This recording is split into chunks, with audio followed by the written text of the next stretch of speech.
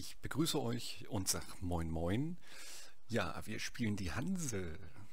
Ich weiß nicht, die Kaufleute unter uns, äh, die eine deutsche Ausbildung haben oder etwas Kaufmännisches studiert haben, in die Richtung BWL, äh, wie auch immer, ähm, haben höchstwahrscheinlich an einem Imperium der Kaufleute auch schon gedacht und Interesse und äh, ja, die Hanse, ein großer Verbund von den ganzen Hansestädten, ja, Hamburg, Bremen, bis nach Russland hoch, äh, wie auch immer die Städte da alle hießen, über Norwegen, ähm, Bergen zum Beispiel ist da sehr, sehr, sehr bekannt, äh, aber auch noch auch kleinere Hansestädte wie Wismar, Stralsund in Deutschland jetzt, ähm, Stettin, äh, in Polen, Danzig, ähm, ja, Stettin gehörte, meine ich, auch dazu, die sind am Fluss, ja, also alles, was ähm, über den Seeweg gut zu erreichen war, ähm, war eigentlich mit im Hanseverbund, beispielsweise auch Lübeck, ja, die haben ja auch ihren, ihren Hafen und ihren Seeweg. Und ähm, zumindest die Lübecker Bucht müsste das sein, ja, also alles, was über den Seeweg zu erreichen war.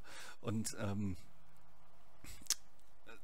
alle großen Städte oder viele große Städte haben sich da angeschlossen und ähm, eingeläutet wurde die Hanse ja von äh, niederdeutschen Kaufleuten und äh, die niederdeutschen Kaufleute haben dann auch die Sprache mitgebracht. Niederdeutsch dazu gehört Niederländisch, ja dazu gehört auch ähm, gehören englische ähm, gehört die englische Sprache und äh, das ist ja im Mittelalter gewesen. Das heißt ähm, damals äh, in dem mit dem alten Niederdeutsch ähm, waren die Dialekte und die Sprachen noch ganz anders als heute. Das kann man mit heute nicht vergleichen. Äh, damals gab es ähm, ja das Altenglisch, ja, das nachher in, in, Großbritannien und so weiter gesprochen wurde, stark von dem Latein geprägt wurde. Deshalb zählt Englisch nicht nur als germanische, sondern auch als romanische Sprache, weil ähm, Englisch äh, ja stark, also von also England oder Großbritannien ist halt von den Römern äh, besetzt gewesen und ähm, aus dem Grund sind die, ist die Sprache, ist das Englisch ähm, auch römisch oder lateinisch geprägt. Ja, und deshalb spricht man da eigentlich äh, von einer Sprache mit germanischem Ursprung, aber auch von einer romanischen Sprache. Das ist ein Mix. Und ähm, ja, das Englisch äh, selber oder Großbritannien selber, dazu kann ich kurz was sagen. Äh, Großbritannien selber ist auch eigentlich ein Einwanderungs, eine Einwanderungsinsel gewesen früher. Da sind äh, Norweger, Dänen, Norddeutsche ähm, insgesamt sind, sind rüber auf die Insel und haben sich da dann bekriegt. Natürlich sind da ähm, auch eigene, eigene Stämme schon gewesen, aber das Gros, das, äh, das und, und ja, dann wurde sich da halt äh, durchgekämpft, ne? Und dann wurden Staaten oder halt äh, so wie in Deutschland auch kleine Fürstentümer und so gegründet, ne, die dann gegeneinander gekämpft haben und irgendwann das Vereinigte Königreich dann äh, gebildet haben, nachdem die sich irgendwann mal einig geworden sind. So ähnlich wie das in Deutschland dann gemacht wurde. Ähm, in Deutschland gab es ja auch die ganzen Provinzen und Fürstentümer und so weiter über ähm, zum Beispiel, dass äh, äh, be beispielsweise die, die, zum Beispiel Hessen ist eine Provinz gewesen oder ähm, andere Städte und da gab es halt noch, äh, was heißt Städte, andere Provinzen. Was heute die Bundesländer sind, das sind insgesamt halt alles Königreiche und auch äh, Provinzen gewesen, beispielsweise ist Bayern Königreich gewesen und so weiter. Und ähm, ja, das ist einmal ein Vorwort. Und die Sprache hat sich halt so geprägt, ne? früher aus dem Altniederdeutschen sowie mit dem Altenglisch. Jemand konnte sich auf Altenglisch wunderbar mit einem, pardon, konnte sich wunderbar mit einem, ähm, mit jemandem auf, auf Altenglisch auch verständigen und unterhalten. Die Sprachen waren noch sehr nah, weil damals die, die Leute ja nach Großbritannien beziehungsweise in das Vereinigte Königreich ausgewandert sind und die Sprache von, von aus, hier aus dem nordseegermanischen Bereich eigentlich ähm, mitgebracht haben. Nordseegermanisch ist halt der, der Bereich. Ne? Das ist Dänemark, das ist Norwegen, das ist Schweden, das ist äh, Finnland nicht. Ähm, Finnland äh, gehört mit zu Ungarn quasi sprachlich. Ja, die bilden auch einen eigenen Sprachstamm, das nennt sich Finugrisch. Und ähm, deshalb haben die sprachlich nichts ja, mit dem Nordseegermanisch zu tun. Ähm, Finnisch und Ungarisch. Ja, das sind quasi ausgewanderte Ungarn, die in äh, Finnland äh, sich niedergelassen haben. Und ähm, genau, aber aus dem Grund ist halt Englisch und äh, das, das Deutsche und auch die ähm, ja, germanischen Sprachen so nah beieinander. Heute sieht man noch viele Ähnlichkeiten, ja, und vor 400 Jahren, vor 500 Jahren konnte man sich wunderbar unterhalten. Ähm, genau, das einmal als Vorwort.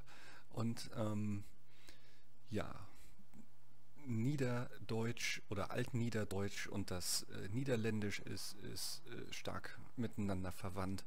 Dass übrigens das Niederlande nicht mit in diesen deutschen oder in den norddeutschen Verbund nachher mit aufgenommen wurde, liegt auch mit daran, dass sich die Niederländer damals gegen das Hochdeutsch gewehrt haben. Man sieht starke hochdeutsche Einflüsse in der niederländischen Sprache. Und ähm, irgendwann haben die gemerkt oder haben die sich gesagt, wir haben keine Lust auf das Hochdeutsch, wir möchten unsere Sprache behalten. Und ähm, deshalb, weil da kein Hochdeutsch gesprochen wurde, also Hochdeutsch vielleicht auch stark eingefärbt. Ja, das heißt, dadurch, dass, äh, dadurch, dass Hochdeutsch dann stark eingefärbt ist, gibt es ja Dialekte oder sind Dialekte entstanden. Es gab die eigene Sprache und es gab das Hochdeutsch und wer dann versucht hat, ähm, wer muttersprachlich seine eigene Sprache gesprochen hat und wer dann versucht hat, dieses Hochdeutsch zu reden, der hat das Hochdeutsch durch, durch die Einflüsse aus seiner eigenen Sprache, aus dem Bereich, wo die kamen, dann stark eingefärbt. Und ähm, Genau, deshalb gibt es solche Dialekte wie dieses Hessisch und so weiter, wo das Hochdeutsch stark verändert ist. Ja, und dann gibt es auch noch Sprachen, die sich erhalten haben. Zum Beispiel das Plattdeutsch oder Niederdeutsch hat sich erhalten. Aber die Niederländer haben sich gesperrt halt gegen das Hochdeutsch. Das wollten die nicht. Ähm, das wollten die nicht. Und ähm, deshalb haben die weiter ihr Niederländisch gesprochen, ja, was sehr nah an dem, an dem Niederdeutsch dran ist, an dem Plattdeutsch dran ist. Und ähm, stark eingefärbt von dem ursprünglichen Niederländisch und sehr nah dran auch mit an dem Englisch natürlich, ja, weil das halt alles aus, aus dem Bereich, aus dem Bereich kam, hier aus, aus dem nordischen Bereich, sag ich mal. Deshalb sagt man auch im Englischen the first für der erste und im Dänischen sagt man the, the firste, ja, oder the firste für der erste. Ne? Und zwischen England oder Großbritannien und Dänemark liegen ganz viele deutsche ähm, oder deutschsprachige ja, und, oder germanischsprachige Bereiche. Und ähm, da kann man auch so ungefähr sehen, aus welchen Bereichen die Leute sich äh, ja, fortbewegt haben oder wegbewegt haben. Genau. Ja, ähm, das einmal als Vorwort dazu. Ich würde sagen, ich klicke einfach mal auf Neues Spiel starten und dann schauen wir einfach mal, was passiert.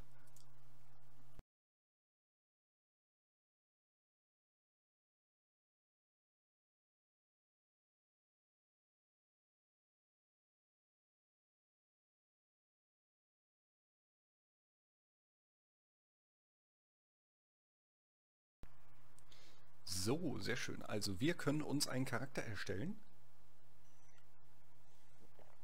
So, ich trinke ein, äh, ein Cappuccino, also ein Latte Macchiato. Hm. Spielbeginn, wir starten 4, 1450. Ja, das Spiel startet im Jahr 1450 und Amerika wurde noch nicht entdeckt. ähm, wir sind natürlich männlich. So, wir geben uns mal einen Vornamen. Hm. Was ist denn ein, ein schöner Vorname? Ähm, wir heißen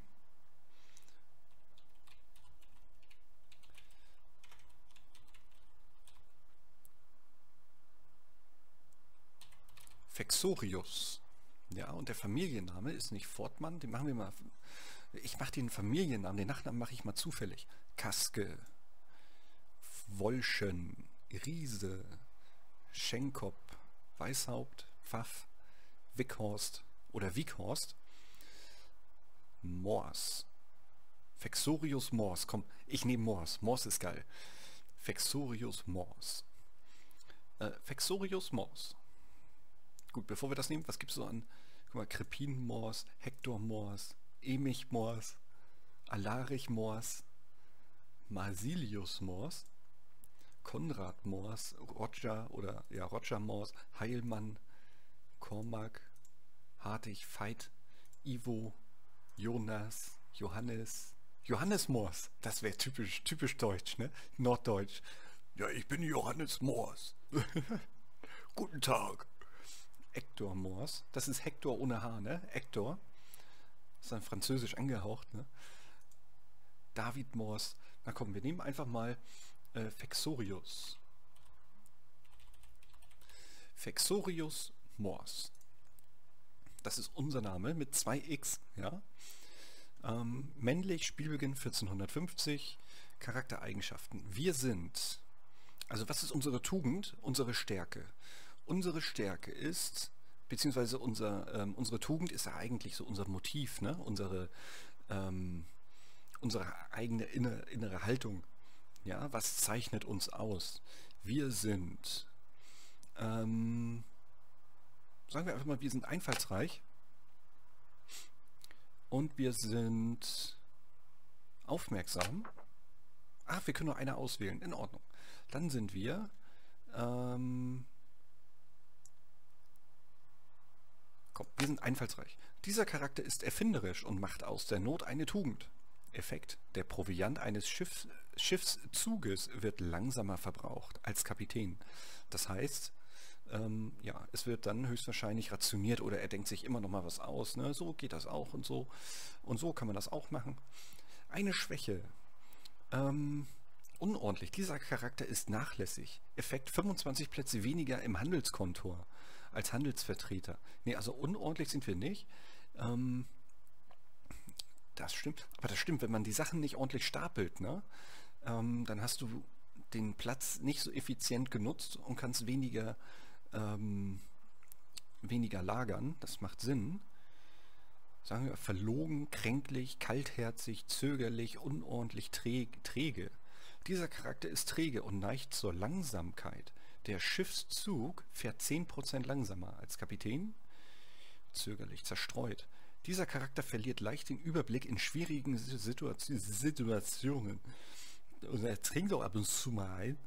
Effekt. Risiko von 10% auf eine Kanone oder Schild im Schiffskampf weniger. Alles klar.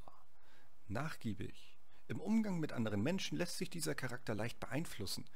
Ja, das ist schlecht. Risiko von 10% auf einen Diplomatiepunkt weniger bei der Bürgermeisterwahl. Ja, das stimmt. Also wir dürfen nicht nachgiebig sein. Ne? Wenn man verhandelt, dann muss man seinen Standpunkt vertreten. Da muss man auf jeden Fall Sagen wir einfach mal, wir sind verlogen. Dieser Charakter gilt als unehrlich. Aktionen dieses Charakters, mit denen der Familienruf beim Hanserat verbessert wird, bewirken einen um 15% geringeren Rufzuwachs. Das ist auch schlecht, wenn du einen schlechten Ruf hast, weil du unehrlich bist. Ähm, das würde ich nicht machen. Ich würde einfach mal sagen, was ist kränklich. Dieser Charakter ist körperlich schwach und neigt zu Krankheiten. Lebenserwartung ist um 5% niedriger. Komm, die Besten sterben jung. Nur die Besten sterben jung. Wir nehmen einfach mal kränklich. So, der Spielstand wurde gerade gespeichert. So, wir nehmen kränklich. Ja, ähm, wir sind einfallsreich und sterben früh. Das ist doch in Ordnung. So, Familienwappen. Das ist auf jeden Fall rot-weiß. Ähm, das ist in Ordnung. Aber wir nehmen einfach mal als Wappen